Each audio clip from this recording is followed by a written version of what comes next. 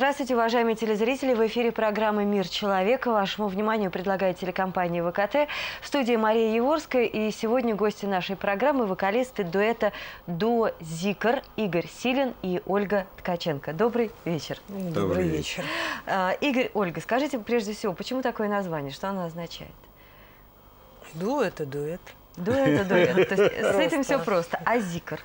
Зикр – это одна из тех техник э, голосоведения, которые мы используем. Кроме того, зик, зикр в буквальном переводе – это разговор с Богом.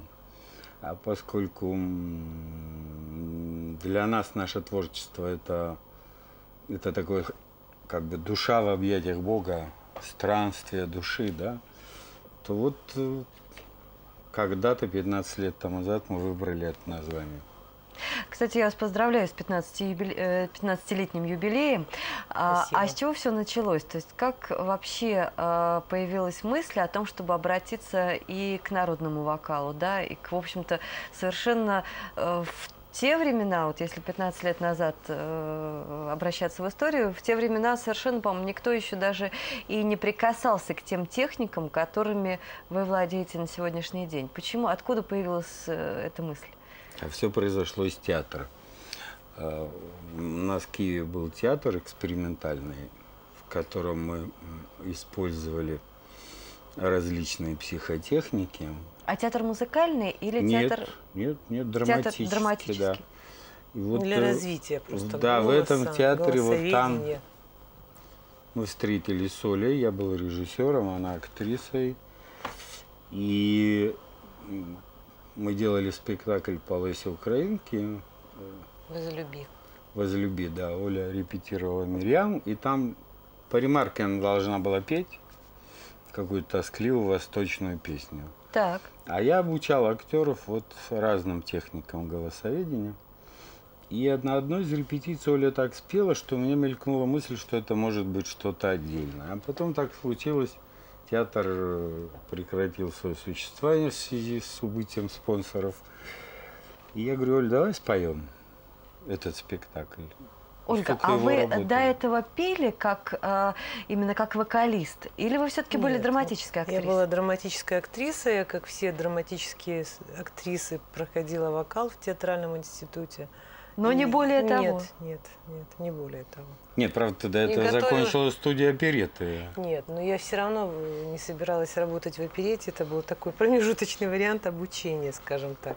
Я хотела быть драматической актрисой, и была, и пришла к Но пение было в вашей жизни? То есть... Э, ну, оно ну, обычное студи... студийное, студенческое. И дома. И Игорь, дома. а что вас поразило в исполнении Ольги, что, э, что натолкнуло вас на мысль, что это может быть какой-то э, отдельный театр, да, насколько я понимаю, да. это магический театр, причем единственный в мире, единственный неповторимый.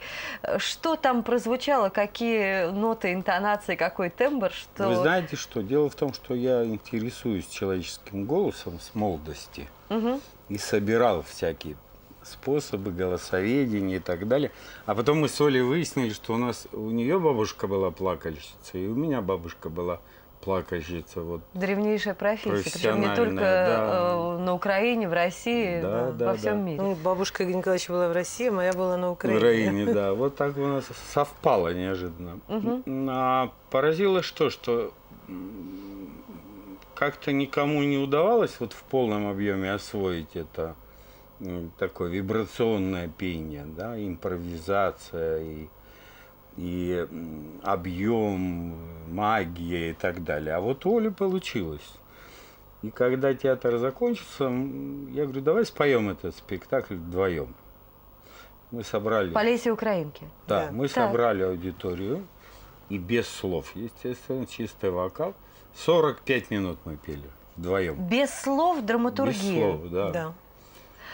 И надо сказать, что нас очень хорошо приняли. И мой приятель, композитор киношный, он сказал, что вполне может быть. И следующая работа наша была, это мы сделали спектакль «Песня песни», в котором вот тоже была пластика, и мы пели. Вот. А потом, потом мы стали ездить по городам и весим и петь. Вы знаете, давайте попробуем э, сейчас посмотреть фрагмент вашего клипа. Только прошу немножечко расскажите и об этой истории. Хорошо. Э, клип, посвященный э, гибели тысячи, да, если я не ошибаюсь, Да. человек в 96 году на пароме Эстония. А, вот такое посвящение, это... Это человеческое переживание по поводу того, что произошло. Знаете, нас это то есть потрясло. это специальная музыка, написанная или спетая Это спетая, да, по- на событие. на события. То да. есть, э, Мы э, репетировали в капелле, и в это время вот мы узнали об этой, этом, этой трагедии, и она настолько в нас вошла, что мы тут же начали петь. Еще в зале почти никого не было, то есть до концерта. И нам захотелось как-то, потому что вот это все Уля потом рассказывала, как она их видела там под. В общем, Давайте посмотрим, огромное. Давайте. посмотрим фрагмент клипа. Клип посвящен погибшим на пароне Эстонии в 96 году. Пожалуйста.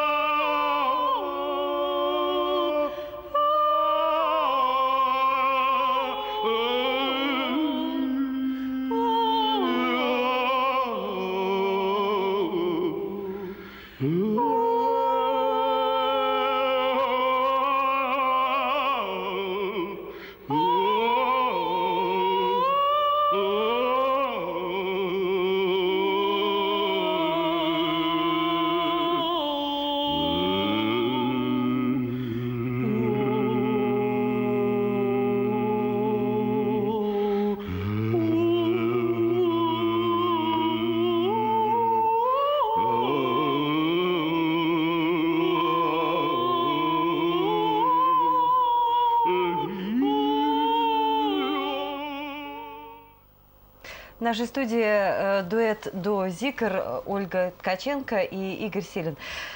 Э, вот это что, это полная импровизация? Да. А мы всегда импровизируем. А, Ну, а Это вообще такая таинственная вещь. Нет, только название. Вот, вот знаете, как это выглядит? Вот так, ну, что поем? Храм. Хорошо. Всё. Вышли на сцену, сели друг напротив друга, встроились друг в друга энергетически, да? Так. Встроились в пространство зала, энерги- обратились к Богу музыки, Так. и мы даже не знаем, кто первый родит звук и какой он будет. Мы сговоримся только о названии. Мгм. То есть Ну, задана некая тема, да? Или... Всё, да. Это... А сразу это стало получаться? Или все-таки... Нет, ну года три. Постепенно. По- Постепенно, да, потому что для Оли это вообще было долгое время Мне это было очень трудно, да. потому что я хотела быть драматической актрисой, а не певицей, тем более такого странного жанра. И я все время пыталась говорить, Игорь, а когда мы будем уже заниматься театром? Он говорит, сейчас вот Пройдут, сло- попоём». про- да, пройдут сложные времена. ещё немножко, Для театра да? сейчас очень трудно не найти там спонсоров, не найти как Не, ну, декорации. после Иерусалима там, это у тебя пам, пам. прошло. Но после Иерусалима прошло. А но- что было в Иерусалиме, расскажите? А в Иерусалиме я, мы поехали после одной из гастрольных поездок в Одессе. У нас было несколько концертов, и друзья нам сделали поездку. Но это не важно. Важно, что в Ну, храме, в храме Нет, гроба это тоже Господня- важно, Ну, потому что важно, да. что находятся друзья, которые помогают Да, Да. с и этим в- у с нас организацией. все в порядке. У нас великолепные друзья. И вот э, в храме гроба Господня вот с Олей произошло какое-то такое переживание, она приняла до конца, потому что так между нами первое время, когда я ставил запись концерта, Оля убегала куда-нибудь в дальнюю комнату, чтобы слышать через стены. Но я все-таки Это сложно было. Класс... Люблю классическую музыку какую-то, понятную, ясно. Тут как мне спрашивали, Оля, ты зикр любишь? Я говорю, петь, да, а так... А так нет.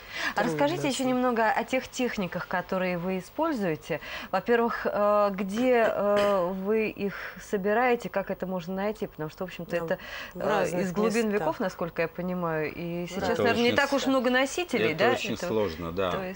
Ну, у меня было это такое увлечение.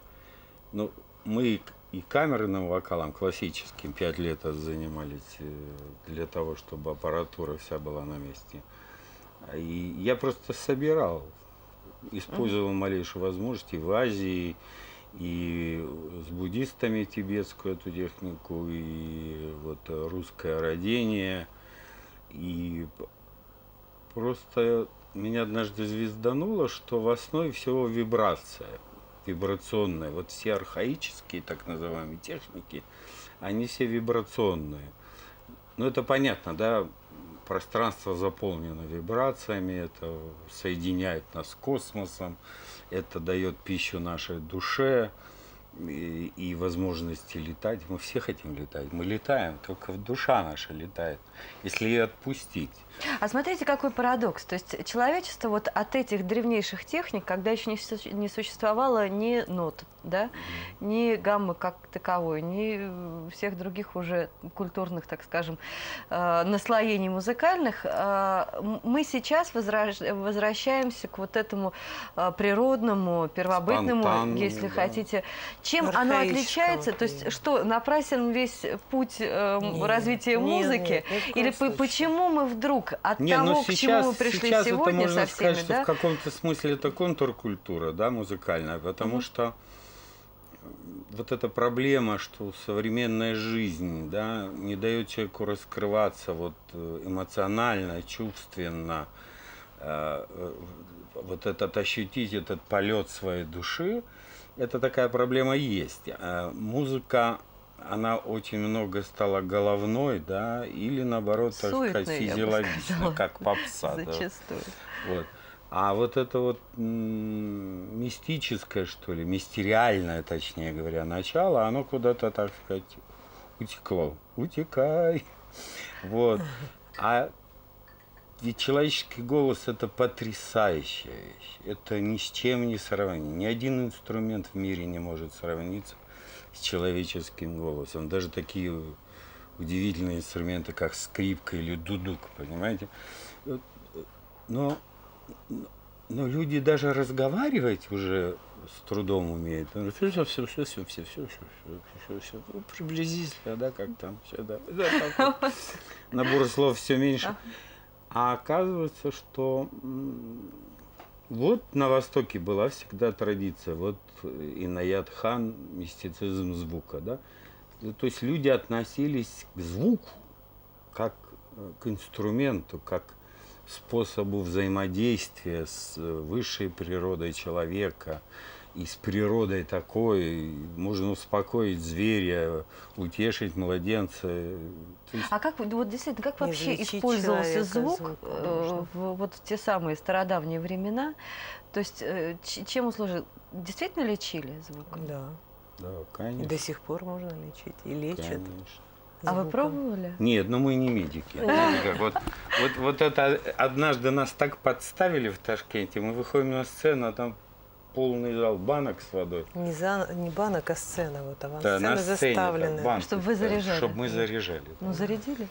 А не мы знаем, не знаем, наверное. Я вышел, извинился перед публикой, что ну, так ну, сказать, ну, Есть же такое понимание, и уже даже ученые доказали, что там музыка Баха гармонизирует, там, или Моцарта, музыка, скажем... Ну, да как... что ты говоришь, сейчас вообще доказали, что просто вот в конверте сиди, да? Так. Вот человек ничего не знает, в каком конверте что лежит. К нему прикладывают. И, и можно... на разную музыку, которую Тело не слышно. реагирует, он не слышит. Тело реагирует. Нервная система. То есть не слыша, а просто... Да. А там же есть эта память, которая У нас есть запись мантры, И один наш знакомый, он каждый год ездит в Шалин к мастеру. Он говорит, он привез эту запись. Своему Он говорит, мастеру мастер, Шалин можно это? Мастер поставить. так руку положил сверху, послушал рукой. И Послушай. говорит, хорошая вещь. И сейчас до сих пор в Шалине, в зале для медитации иногда она звучит. А вот, например, те же тибетские мантры, да, которые вы тоже, я так понимаю, используете, Мгм. или эту технику. Да. Технику А, как ее вы узнавали? Насколько Ой, мне известно, вот это именно на этом где-то с Борисом как? Гребенщиком вы Нет, э, сошлись, Борис, он нет? Или- поет в другом стиле мантры. Ну, мы с ним просто в этом месте как бы совпали. Вот, но, Каким-то а местом. я э, когда-то имел возможность ознакомиться с вот этой знаменитой техникой, когда поешь, а вот тут стоит свеча, Так. и она не колышется. Сейчас мы подали патентную заявку на эту технику голосоведения. То есть она просто не колышется. Вот. Стоит вот здесь. Совсем другой способ. А как же дыхание?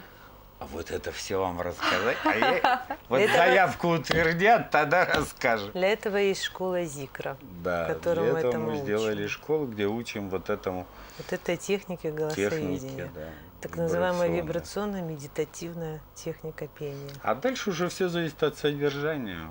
То есть, с одной стороны, ну, как Анатоль Франц говорил, да, искусству всегда угрожали два чудовища. Художник, который не мастер, и мастер, который не художник. Вот мы стараемся, чтобы у нас был этот баланс, чтобы было ремесло на хорошем уровне, и чтобы было чем заполнить, что мы хотим выразить. Но поскольку мы люди верующие, у нас есть своя система, так сказать, веры, и восприятия всего этого мироздания и своего пребывания в нем, то проблемы с содержанием нет. Скажите, а долго нужно настраиваться на выступление или на запись? То есть все-таки я так понимаю, что это духовное пение, да? И Медитативное, да, можно так сказать. Ну, когда как? Когда как? Ну, в принципе, где час-полтора сейчас, 15 лет спустя. А в начале по-всякому. Недели. а в чем состоит на- настрой на выступление или на э, Ну, во-первых, есть определенная техника, то есть технология. На самом деле в основе есть технология. Ее нужно сначала изучать и знать. А уже потом вокруг этого все ну остальное раскройте немножко тайны, что за технологии? То есть э, Ну, так, понимаете, если Или я вам вы- расскажу словами, значит так, садишься, включаешься в пространство. так, Делаешь огненный Дальше цветок. делаешь э, упражнения. огненную пульсацию, набираешь огненную энергию, пульсируешь, э, э, вибрируешь, Пока молча резонируешь, все молча. все молча, вот Да, все эти, э, а резонируешь как молча? А вот Так это вот молча. и словами не выразить. Вот, вот что такое резонанс, да? Вот научить я этому могу, и Оля может научить. Оля из 40 человек, съехавших с разных городов, за три дня сделала хор. И вот мы записали эту самую мантру. Я там солирую, а Оля ведет весь этот хор, 40 человек. Совершенно Постепенно он певцов, начинает да. звучать, знаете, вот как это тысяча человек, это две тысячи. В конце такое ощущение, что там просто 10 тысяч человек. Но Это эти люди, это вокалисты? Нет. Нет. С вокалистами мне сложнее. Вот у меня сейчас театр «Голос», и там есть ребята-вокалисты и не вокалисты. И вот те, которые вокалисты, с ми- с ними легко, как вот у них есть профессия, они с детства поют в детских хорах, закончили консерваторию, все, и с ними легко на нотных каких-то началах говорить. Но когда переходишь на вот эти вещи резонансные, им очень трудно, потому что они вот Надо знают эту математическую гармонию. Да, потому что циферки в А, голове. д- А те, кто чувс- чувственно это воспринимает, по-другому. Вот мы год уже с ними занимаемся, как это, тремся друг об друга в разные вот эти места попадаем, то головы, то, то души, и вот пытаемся это все собрать воедино, такое целое. Знаете, кто нас принял первым Кто? из музыкантов? Кто? Рокеры питерские. Да. Сережа Притом Курехин, сразу. Саша Ляпин. Причем это произошло, как будто вот они, ну, хотя казалось бы, какое А как это, вот отношение? как это произошло? Вы Вот приезжали Курехин, с Курехин, выступления? Курехин пришел Да, к нам в студию, когда Юра мы... Морозов, ну, мы наш писали писал, просто да. первый диск. Он просто и пришел к нам, в, ну, к нему в гости, я не знаю, каким образом. Мы пришли в Юра его студию, позвал. и Да. сидит человек и слушает нашу музыку. Потом он говорит, это Сергей Курехин. И я даже уловила момент, он там слушал какие-то, так, смотри, так у него слеза потекла из глаза. Думаю, надо Не, же. ну он замечательный. так воспринимает нашу музыку. Мы с ним А потом он ездили- предложил нам совместный проект один, потом второй. Мы с ним поехали на BID в Берлин, потом вместе поехали в Ташкент на фестиваль международный там. И как-то действительно рокеры воспринимали нас как «А, вы свои. там, А вы их как воспринимаете? Так же. Не всех, но те, которые отзывались. Ну вот казалось бы, смотрите, совершенно полярные два а, способа создания музыки, да? То есть на разные, то есть это архисовременное направление и наоборот архидревнее, архи вот Но оттуда, Ну, рокеры, они же вот из тьмы. возникли из места, мне веков. кажется, они возникли из места того, что они хотели какие-то чувства свои передать в необычной форме. Опять же, разрушить какую-то математичность. Стереотип. И сте- и стереотип, да. И вот поэтому, может быть, и совпало что-то. Да, с джазменами было сложнее. У нас только два таких счастливых пересечения с джазменами. Это вот в Киеве. Ну, там пришли к Мгм. нам Мы джазмены, записали там альбом «Звезда полынь», посвященный Чернобылю, и танцующее время. «Танцующее время». И несколько концертов мы вместе сделали, и даже в Одессе, в филармонии. В оперном театре. Потом в оперном. Сначала в филармонии, помнишь? Под конец Володя Да. там. Да. Вот. Играл. Но вот, вот мы сколько-то работали вместе, а потом все, мы слышим, они повторяются. Квадрат там, понимаете, да? Ну, там Ну, есть какие-то да. каноны, Это которые, там всё. есть э, И э, всё, импровизационный канон, и да, есть доля импровизации, есть Ну, доля... вот недавно, относительно недавно в Вильнюсе мы с таким фри-джазом а, познакомились. Ну, это лихо. Мы сделали такой альбом Happy Happy Crazy. Такой безумный совершенно, но потрясающие ребята. Знаете, вот И счастливый. Стыковка происходит, да, стыковка происходит тогда, когда человек от, эмоционального мира идет. Не от головы придумывает музыку, а, да, а вот импровизирует. Скажите, а допустим, э, ну вот есть у вас какие-то уже э, концертные номера, они-то повторяются из выступления в выступление? Название повторяется. Название Но импровизация. Иногда там бывают такие какие-то мелодические Есть кусочки. но- 20 записей под названием «Храм». И они все разные. И они все разные. Сегодня, сейчас, здесь, да, э, и, и, может быть какая-то общая структура повторится, да, ну, куски, да, как бы структура там, темповая. Но все равно храм есть или храм. тембровая где-то, да. Но мы же не, не по нотам поем и не сочиняем по нотам. Мы это рождаем каждый раз. И вначале было очень трудно. Вот я помню, как Коля по несколько дней говорить не могла, потому что для того, чтобы это делать, нужно выключить э, речевой рефлекс. Она выключала, мы пели концерт, а потом она три дня петь могла, а говорить нет.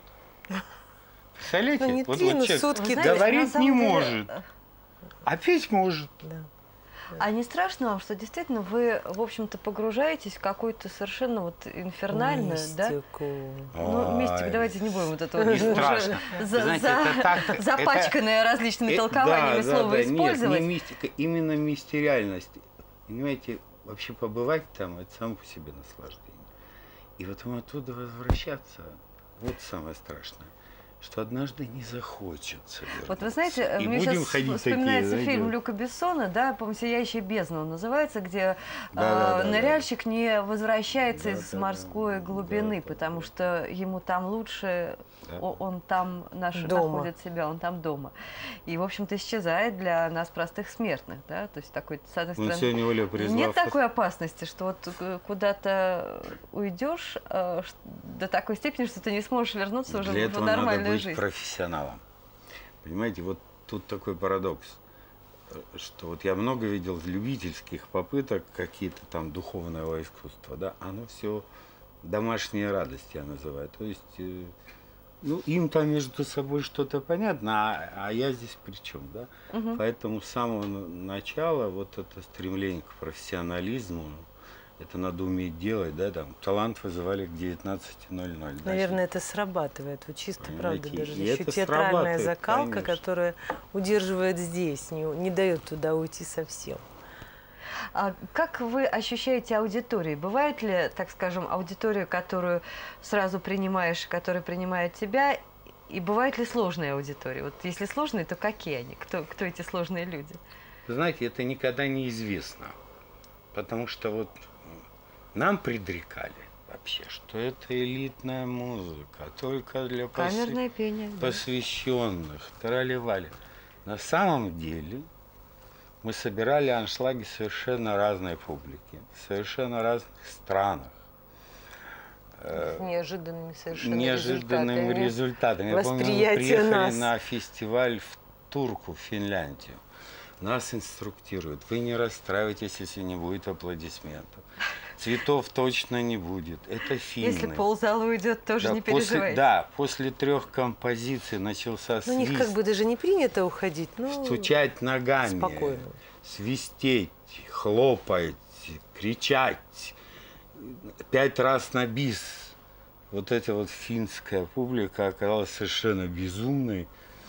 Понимаете, что... Давайте тогда э, сейчас посмотрим фрагмент вашего выступления. По-моему, это не финский да, концерт, но тем не менее. Пожалуйста.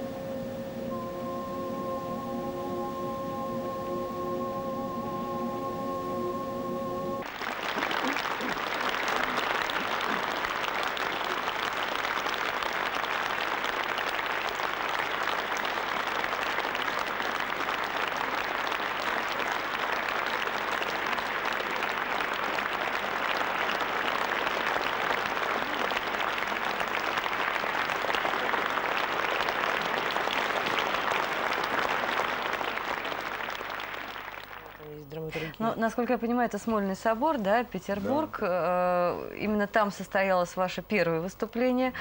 Да. Э, может ли что-то помешать? Вот вы говорите, что э, на разные аудитории приходилось работать. А может ли что-то выбить? Потому что вы очень сосредоточены, вы очень э, сконцентрированы Есть... на том, что вы делаете. Есть такое вот ощущение, вот мы первый раз, когда пели, мы тоже думали, ой, как же будут воспринимать и удивились, э, что был полный зал, при том, что мы ожидали половину, скажем так. Но, наверное, как-то есть вот это вот мистицизм или магия звука, когда человек постепенно успокаиваясь, он начинает слушать. Это мы для себя даже называли это там театр голоса, театр души. И какой бы человек ни был там весь суетливый, он все равно постепенно в это состояние Бывает какое-то сопротивление, и, такое чувствуешь. И слушает первую композицию, вторую, а потом народ как бы входит в это пространство вместе с нами. Замечательный... И уже выйти оттуда не может. Да. Есть подруга. Нет, замечательный случай. Вот э, подходит после концерта в Питере, в капелле, мужчина, говорит, вообще я водила, я шефа привез. Дело зимой, говорит, я зашел в зал просто, по... чтобы ну, мне мерзнуть. Ведь сначала я даже так про себя хихикал, говорит, а потом что-то вот так вот, так вот, и там дочку вспомнил, и, и что-то еще вспомнил. Еще, ребята, спасибо огромное. То есть, понимаете, несмотря на то, что предрекали, что это, это оказалось безумно демократичная музыка. У нас есть поклонники, фаны, ну, я не знаю, там бабушки, пенсионерки, дети 10 лет – понимаете, какие-нибудь там продвинутые пижоны, интеллектуалы, ну, в общем, Совершенно, да, абсолютно разноплановая, разношерстная аудитория. И очень часто люди вот выходят с концерта, и им хочется петь. У меня есть профессиональная певица, подруга, она живет на Кипре, итальянка. И как-то вот она меня спросила, говорит, Оля, ну вот, э, ну вот объясни мне, вот чем ты занимаешься, что это такое? Я у нее просто брала уроки обычного такого пения, Итальянского итальянского вокала. вокала. для себя, что называется, для души, просто приятно было общаться. Я говорю, ну, Тициана, я не знаю, как это объяснить, по-английски просто говорю, релакс. Всё, Релакс. Она говорит, все понятно. А, такое забытое, немножко исчезающее из нашего сегодняшнего театра понятие, как катарсис, в общем-то, ради которого театр был и задуман, да, и замыслен, драматургия тоже. Вот это происходит с вашими Да, зрителями? очень часто. Так Очень быстро и часто. так согласно ответили. Да. Ну, потому что Но у нас за- за Я 15 правильно лет спросила? очень много обратной связи, понимаете, на эту тему. Потому что в зале чего только не происходит. И потом люди пишут, люди подходят. У кого-то одно, у другого третье. Знаете, ведь Некоторых приходится из зала собственно потом говоря, дополнительно все- выгонять, потому что не сидят. мы и все сидят, и забываем, сидят. забыли, что мы находимся все в пространстве. А пространство, его ну, можно условно обозначить стенами, потолком и полом, но оно все равно единое. И это пространство живет, дышит, вибрирует. И именно на уровне тонком, то есть вот то, что называется душевным, мы от него зависим, мы с ним взаимодействуем, но мы об этом не знаем. Мы знаем и умеем, да? И поэтому, когда люди приходят, почему люди больше любят живые концерты, хотя все наши друзья понакупали супераппаратуры, потому что чтобы ну, слышать лучше. Потому что на концертах еще есть этот вот живой эффект живого пространства, да? Живого дыхания. И люди туда входят в это, понимаете, и для них это такое же открытие, как и для нас каждый раз. Потому что это такой мир, который Построил Джек. да, уравновешивает вот эту всю суету, да, необходимую суету, да, необходимую внешнюю озабоченность. Он уравновешивает тем, что ты человек открывает, что в нем есть такой огромный мир, да, такая музыка, такое А многие идут и поют после концерта. Некоторые пугают. Нет, а многие поют, дети там начинают вдруг на роялях играть Да. в гостиных. Вот так, такие были случаи. Но некоторые пугаются вот этой силы чувств. Был такой случай. Мужчина стоял он после концерта, подошел, говорит, вы знаете, говорит, я слушал вас из-за двери, я не мог, в зале мне больно было. Я вышел, я не ушел из концерта, я вышел и стоял за дверью и слушал вас за дверью. Мне так было легче. А при этом на этом же концерте после него вышел там ребенок лет 6-7, сел за рояль, который там стоял в гостиной этого зала и начал играть. То есть вот, вот такие бывают переживания самые. А задумываетесь ли вы о том, чтобы были ученики, последователи? Ну, вот я так понимаю, что Ольга Веду школу Зикра ну, вместе с Игорем Николаевичем, когда он не академик Это вот театром голос, то, что вы Да, рассказывали, да? Театр, гол- ну, театр голоса, он возник вот недавно уже. Наконец-то вот такое получилось подача, опять же, Николаевича образования, как театр голос. Это в основном Но мы сейчас думаем, ребят, показать. Вот мужской 19 хор, апреля который у нас будет концерт в обучается этой Москве. и технике. Мы думаем, что во втором отделении ребята уже будут участвовать, секстет мужской. И они здесь уже пели в Москве один раз. Было. Ну, а сколько лет ребятам? От 23 до самому старшему 36, по-моему, так 23, 25, У них есть 29. музыкальное образование? Они Консерваторское. консерваторские. Они поют с детства. с 6 лет. Они супер профи. И это хорошо, потому что без профессионализма нельзя. Но с другой стороны, вот чему учит их Оля, да, вот это нашей системе, и это, конечно, очень трудно им было преодолевать привычки свои, все это. Скажите, а вот русское родение, что это такое? Потому что мы знаем наше церковное пение, да, знаем народное пение. А Вот на это и родение, есть народное. народное, это ну, Народное, это, это обращение причитание, это а, вне, вне церковной молитвы, это, а, это то же самое обращение к Богу, да, это разговор с Богом. Вот во всех, у всех народов, во всем мире. Ну, с какой-то силой, скажем. Понимаете, да, вот Богом, ну, силой. каждый Богом ведь свое называет, у каждого свой Бог может быть, но, но вот это обращение к чему-то высшему, да, это как, как воздух. Вот я в молодости мечтал, что если вот мне удастся что-то сделать в искусстве, это должно быть как хлеб. Что человек не поел этого, и ему что-то не хватает. Дашь нам вниз. Да, и вот поэтому вот я сам, я больше недели не могу не слушать этот дуэт. Что в вашей книге, Игорь? А книга это другое. Это, моя... Я режиссер по образованию, закончил Щукинское училище. Потом были всякие разные перипетии. В результате я стал Калинаускас и психолог. Я вообще доктор наук, академик, тролливали. Это, Вы так это очень книги, быстро это говорите, да, но поясните. Это не, не к теме сегодняшней нашей встречи, это практическая психология и философия вот, для жизни. То есть здесь не слово о голосе или а, все-таки... Нет, о голосе я пою. Вот, знаете, говорить об этом, это для меня как-то...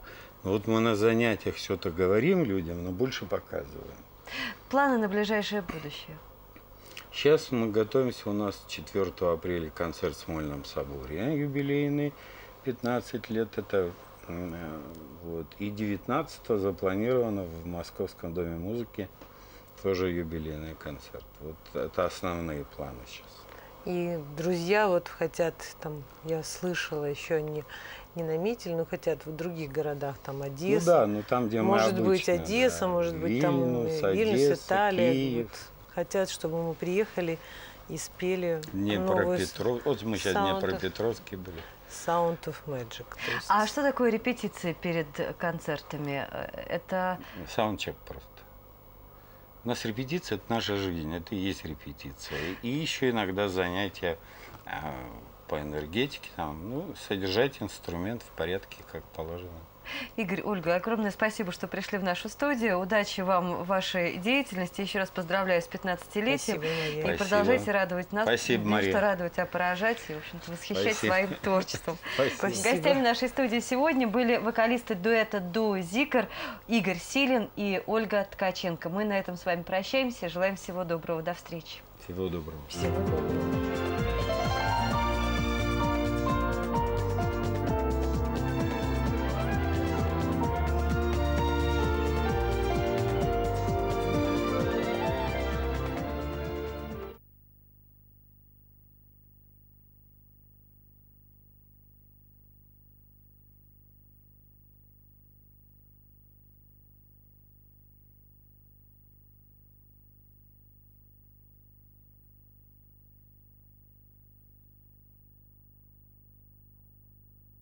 На спектакле, поэтому...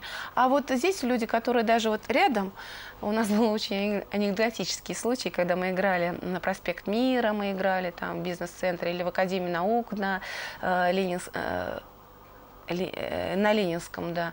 Вот. И вдруг там висит афиша, говорит, мы там раздаем там свои тоже какие-то э, такие афишки небольшие. Говорит, как, это наш театр МЕЛ? Говорит, да. Как, а мы живем декабристов, дом, там, дом 2, корпус 1. А вы дом 2, корпус 2? Я говорю, да. А, говорит, а почему же мы сюда приехали? Я говорю, ну вот, наверное, видимо, кажется, что в центре что-то более интересное. Елена Анатольевна, у вас есть буквально 10 секунд для того, чтобы сказать зрителям заключительное слово. Дорогие зрители, мы вас очень любим, ждем. Приходите к нам на улице Декабрист, дом 2, корпус 2, в театр «Мел». Двери всегда открыты. Спасибо вам. Сегодня у нас в гостях была художественный руководитель театра «Мел» Елена Анатольевна Махонина. Она же актриса театра и кино, и режиссер. Мы говорили о театре «Мел» и вообще о театральной жизни. Всего вам доброго, до свидания. До свидания.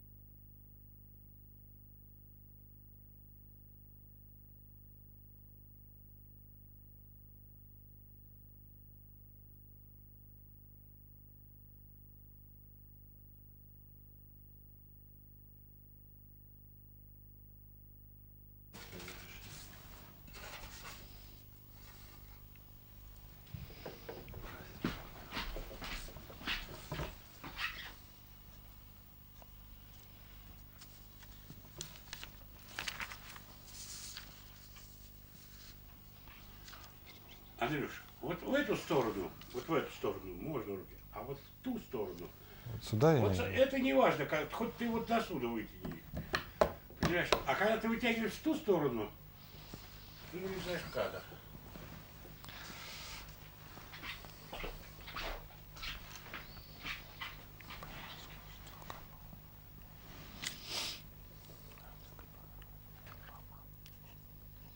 А это на кнопке на столице, да, выходит?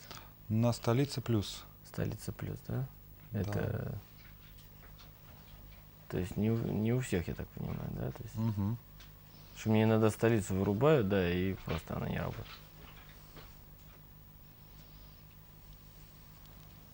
То есть только в Северо-Востоке. Больше нигде. Да. Вы были у нас уже, да? Было. Я помню, вы были, еще был дневной марафон. Вот Да я, да, много, там, в той студии. много где был у вас тут. И на столице, собственно говоря, на самой тоже несколько раз был.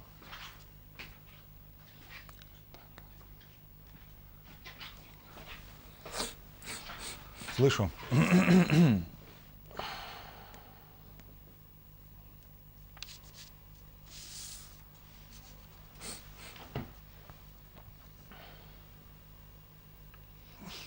Через сколько начало? А? Через сколько начинаем? Через полторы минутки. Где-то так. А выйдет когда эта передача? А, завтра или в пятницу, да? Это надо спросить у девочек. Может быть, 23 февраля как раз, в День защитника Отечества.